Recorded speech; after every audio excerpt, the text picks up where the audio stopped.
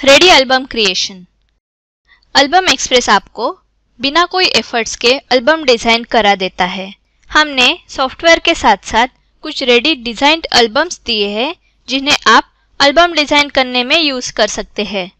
आपको बस photos insert करने हैं और आपका एल्बम रेडी है। एल्बम के लिए कैटेगरी और साइज़ सिलेक्ट कीजिए और रेडी एल्बम स्टाइल सिलेक्ट कीजिए। सिलेक्ट रेडी एल्बम विंडो में आपको रेडी एल्बम्स दिखाई देंगे।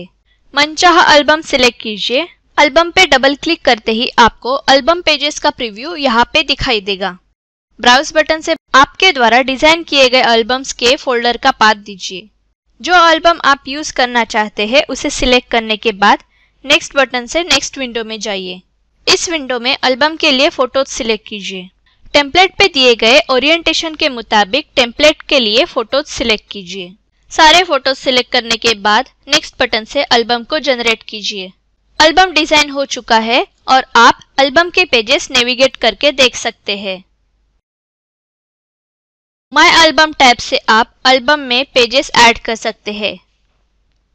बैकग्राउंड टैब से बैकग्राउंड ऐड करके कुछ फ़ोटोज़ भी ऐड कर सकते हैं। आप चेंज लेआउट बटन से फ़ोटोज़ का लेआउट चेंज करते हैं। जब तक आपको मनचाहा लेआउट नहीं मिलता लेआउट को चेंज करते रहिए।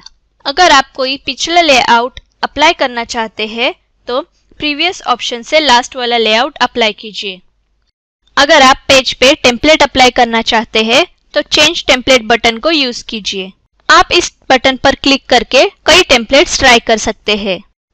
अगर आप पिछला टेम्पलेट अप्लाई करना चाहते हैं तो इस प्रीवियस आइकॉन से पिछला टेम्पलेट एक्सेस कर सकते हैं। इस तरह से आप एल्बम इंस्टेंटली डिज़ाइन कर सकते हैं और उसे सेव और एक्सपोर्ट कर सकते हैं।